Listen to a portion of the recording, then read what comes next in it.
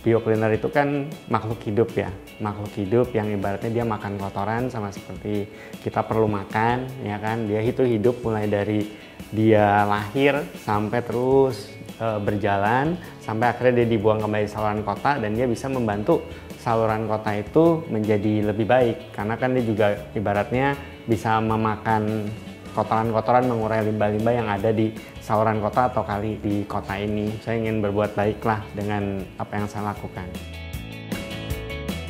Ini sebelum uh, dari yang pertama masuk limbah yang cukup banyak polutannya. Nah ini setelah kita olah bisa dari tampak kasat mata aja udah kelihatan ya bedanya.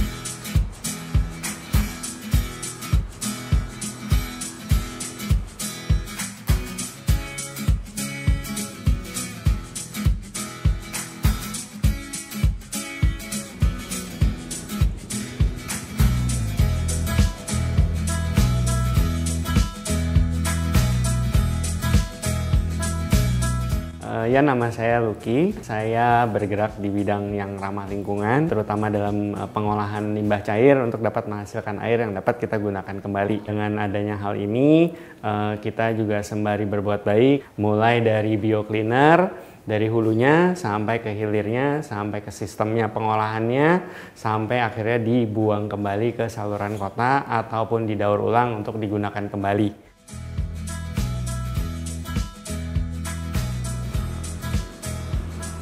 Sebenarnya kalau untuk uh, biocleaner ini uh, karena dia bisa multifungsi ya. Uh, dia juga bisa membantu kita merawat lingkungan supaya lebih sustain, lebih bisa kita gunakan lebih baik untuk masa depan dan juga uh, dari segi penguraiannya dia juga uh, tidak membahayakan sekitarnya. Jadi kita bisa dapat beberapa hal uh, dengan biocleaner ini.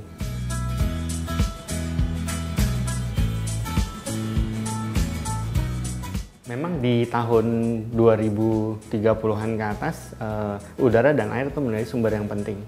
Karena kan um, balik lagi mungkin banyak perkembangan, udara semakin tercemar, air semakin tercemar. Jadi air itu seperti udara mungkin juga ya harus diperlu didaur ulang.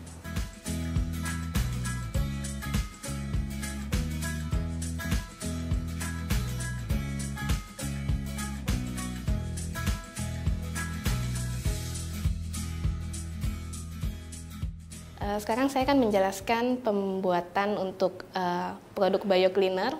Biocleaner ini dipakai untuk mengurai limbah, uh, jadi uh, bisa dipakai untuk membersihkan lantai juga segala macam. Uh, isinya itu mikroba mikroba uh, ramah lingkungan. Jadi uh, produknya produk Go Green.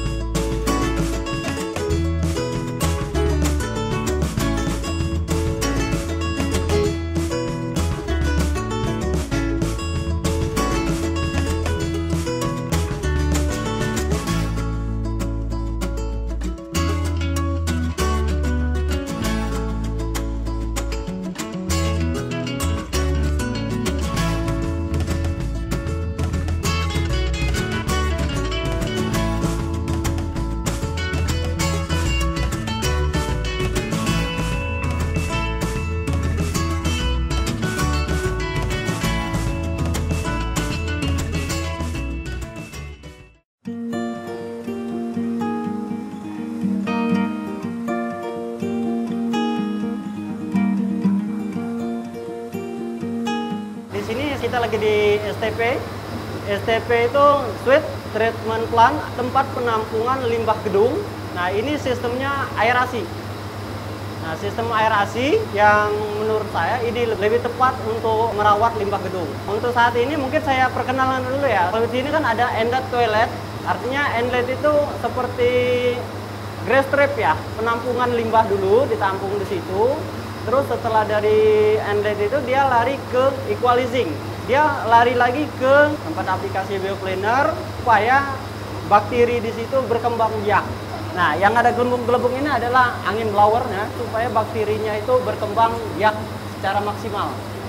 Tanpa ada blower ini, bakteri itu tidak bisa berkembang secara baik dan benar. Hasil itu biasanya udah standar, udah layak buang ya. Sehingga air itu tidak membahayakan lingkungan. Nah, untuk mendapatkan itu jelas harus ada penambahan bakteri.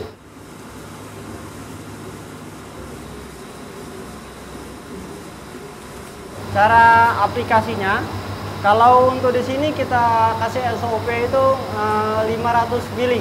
Jadi aplikasinya tinggal kita tuangkan aja.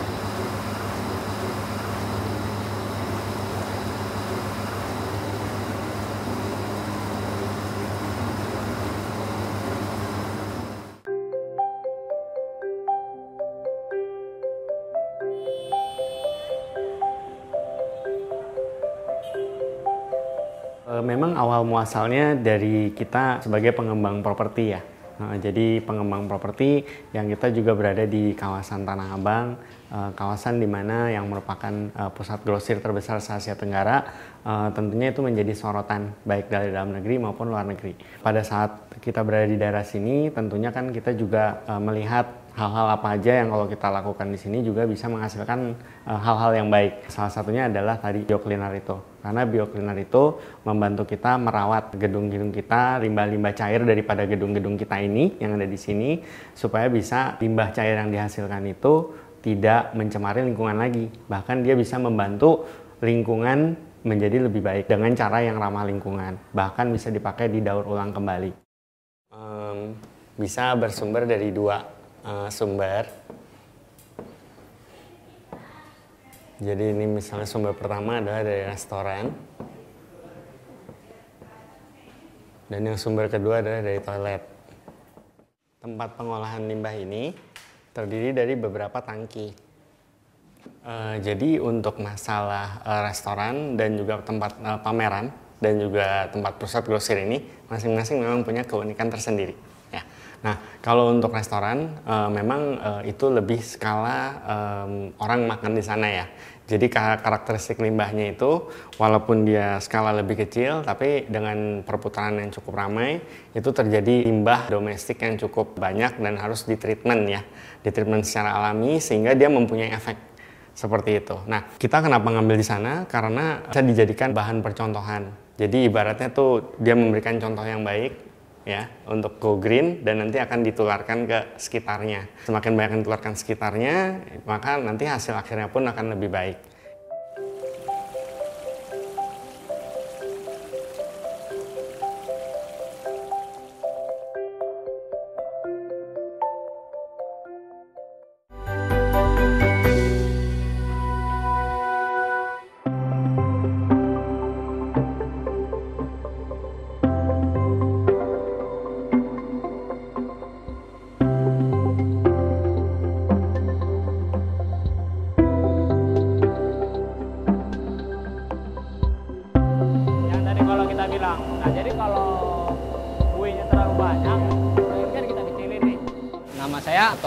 Saya di sini sebagai project koordinator untuk uh, pengolahan limbah STP Sewage Treatment Plant. Uh, di sini ini merupakan bagian dari semua sistem pengolahan. Salah satunya itu STP yang dipakai di gedung.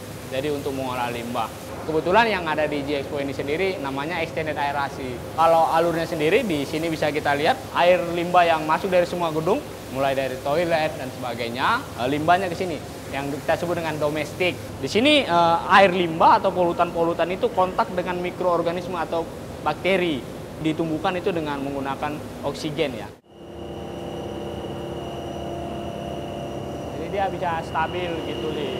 Sama kayak yang lain juga. Kalau sedimentasi enggak, Uh, ada blower, tapi lebih, lebih pada scam skimmer yang. Ya tentu dengan karena kita berhubungan dengan pengolahan limbah, ya air misalnya kita lebih lebih menghargai air. Kan kita dengar tuh banyak tempat-tempat yang kekurangan air, sementara di daerah kita ini air kita malah kita buang-buang. Dengan konsep yang seperti ini ya harapannya gedung-gedung di Jakarta menggunakan konsep yang sama sehingga penggunaan air dari PDAM atau bahkan air tanah atau deep well itu semakin berkurang sehingga permukaan tanah tetap terjaga dengan baik. Polutan berbahaya yang keluar dari gedung-gedung itu bisa terjaga dengan baik sehingga lingkungan sekitar bisa terjaga dengan baik. Warga-warga sekitar itu dia tidak terkena dampak daripada limbah itu tadi. Kita coba lihat nanti saya akan ambil uh, kita bisa bandingkan bagaimana yang sebelum masuk uh, sistem dengan setelah masuk ke sistem. Sini kita ambil dari sini ini bisa kita lihat keruh begini. Ya bayangkan kalau dengan nggak ada sistem ini, ini yang kita buang keluar. Jadi ini yang saya bilang, ini sebelum uh, dari yang pertama masuk limbah yang cukup banyak polutannya. Nah ini yang setelah kita olah bisa dari tampak kasat mata aja udah kelihatan ya bedanya. Kayak begini, sebenarnya alam itu sudah menyediakan solusinya sendiri. Kita ambil solusi yang dari alam, ramah lingkungan, kemudian kita terapkan di gedung, yaitu yang jadi hasilnya. Untuk Pekan Raya Jakarta itu kan memang mereka adalah tempat yang cukup terkenal lah. Karakteristik dari Pekan Raya Jakarta itu adalah sekali datang bisa banyak orang. Eh, dia itu juga banyak macam limbah yang dibawa ke sana. Tapi dengan sistem yang ada, dia tetap bisa mendaur ulangnya dengan baik dan bisa digunakan kembali, baik untuk itu siram taman maupun untuk flushing toilet lagi. Dengan berbagai macam limbah cair pun yang datang ke tempat itu, dia bisa urai dengan baik.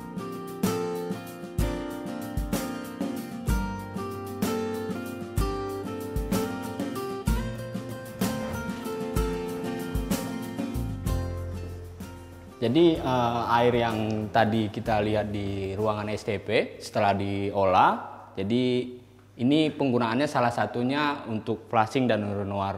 Jadi bisa kita lihat salah satunya airnya kualitas airnya juga sudah sesuai dengan baku mutu dan airnya jernih. Selain urinoir ada lagi yang untuk flushing toilet. Nah, bisa kita lihat di sini untuk flushingnya sendiri airnya kualitasnya hampir sama dengan yang di Runior tadi. Jadi semuanya ini base-nya dari hasil olahan dari SDP. Nah untuk GSPO ini sendiri menggunakan sistem recycling hanya untuk sebatas uh, flushing toilet, cooling tower, dan siram taman. Tentunya ini ramah lingkungan. Selain daripada membantu untuk mengurangi parameter yang jadi polutan ke lingkungan, ya, bisa digunakan kembali itu kan salah satu konsep recycling reuse ya. Artinya yang tadinya kita harus buang, kita bisa manfaatkan, ya itu yang kelebihannya. Jadi ini adalah skema standar sistem yang kita aplikasikan untuk setiap bangunan yang kita kerjakan saat ini agar pengolahan limbahnya dapat ter terhasilkan dengan baik. Ini adalah skemanya, tapi dapat kita modifikasi sesuai dengan kapasitas ya sesuai dengan kapasitasnya yang akan kita hadapi seperti apa. Tentunya dari setiap karakteristik uh, hotel ataupun gedung, dia kadang-kadang bisa berubah. Yang tadinya misalnya di lantai 5 perkantoran, totalnya lantai 5 dirubah jadi food court. Ya, jadi loadnya kan beda uh, antara komposisi restoran sama toiletnya. Nah, sistem yang kita uh, jalankan ini itu bisa mengakomodasi itu gitu. Jadi kita pada saat kita diberikan sesuatu tempat, yang penting kita harus bisa tetap visinya kita adalah kita mau membuat gedung ini menjadi ramah lingkungan. Jadi kita coba semaksimal mungkin supaya kita bisa mengantisipasi hal tersebut.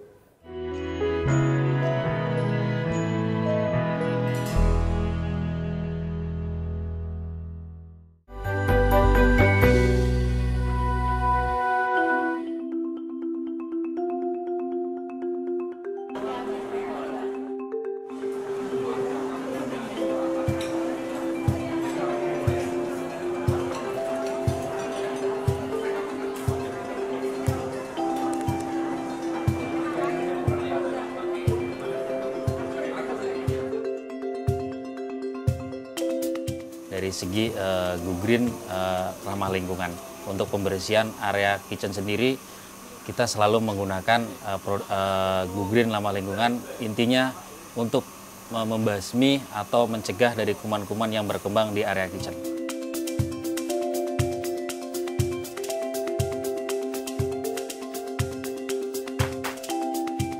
Biocleaner sendiri adalah di area moving uh, untuknya area kitchen.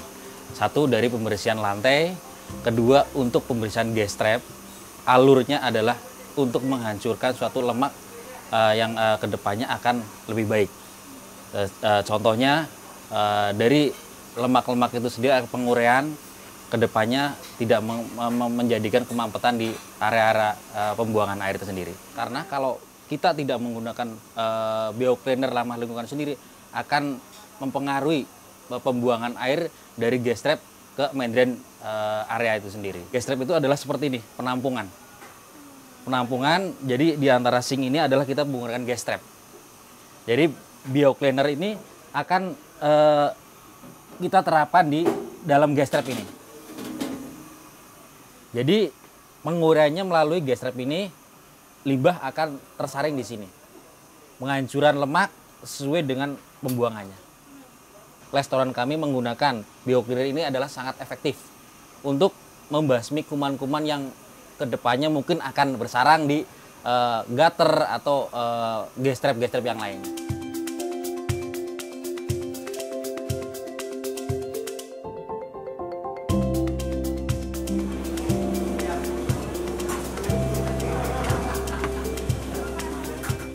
Kalau penggunaan bioclear sendiri adalah di saat closing. Nah, di saat closing itu adalah kita sudah aktivitas dalam satu hari penuh, otomatis kan lemak atau eh, minyak-minyak uh, mengendap di area gutter kita akan berbahaya. Nah, makanya penggunaan biocleaner sendiri adalah setelah closing. Nah, setelah closing kita tuangkan di gas trap. Jadi setelah uh, biocleaner sudah dicampur dengan air, kurang lebih eh, pemakaiannya adalah 800 sampai 1 liter. Kita tuangkan dalam gas trap. Nah setelah itu kan dalam satu malam itu ada penguraian.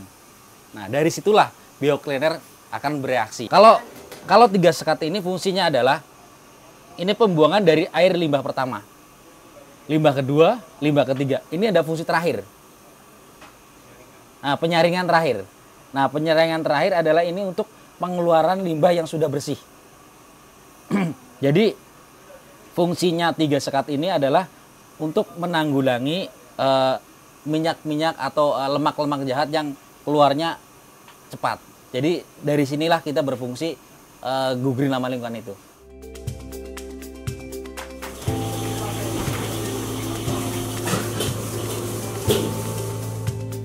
Apa sih antinya ramah lingkungan? uh, untuk ke depannya penggunaan uh, air limbah itu seperti apa. Nah dari situ kesadaran orang akan muncul. Oh harus seperti ini saya menggunakan uh, green atau green ramah lingkungan ke depannya seperti apa. Karena setahu saya air limbah khususnya mungkin di gedung itu sangat bermanfaat. Nah kalau kita sendiri dari restoran tidak mengenal ramah lingkungan, gimana hasil limbah itu akan terjadi. Nah, dari situlah uh, mari kita sama-sama untuk ke depannya lebih uh, menyadari untuk menggunakan uh, Go Green ramah lingkungan ini uh, intinya untuk menyelamatkan air-air kita.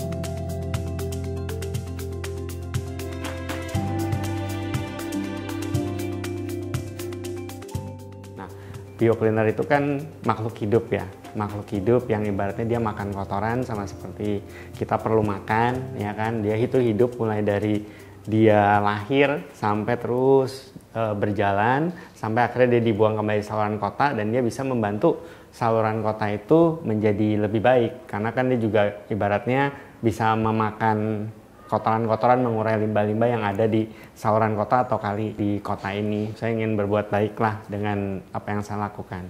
Sebenarnya kalau untuk uh, biocleaner ini karena dia bisa multifungsi ya. Dia juga bisa membantu kita merawat lingkungan supaya lebih sustain, lebih bisa kita gunakan lebih baik untuk masa depan. Dari segi penguraiannya dia juga tidak membahayakan sekitarnya.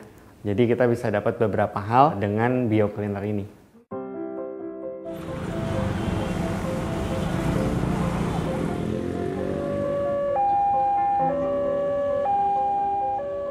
Saya sih berharap uh, bahwa um, masyarakat dan juga sekeliling uh, dapat uh, menerima kenikmatan dan kemanfaatan daripada biocleaner ini sendiri.